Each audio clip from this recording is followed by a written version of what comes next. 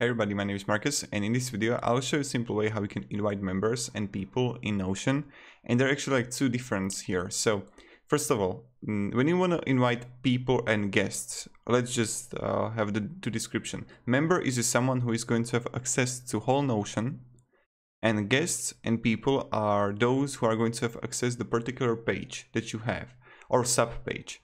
So I have this getting started here, right? I will click here share and invite people. When I would like add here the name or emails, can edit, can comment, can view. This is only for the page.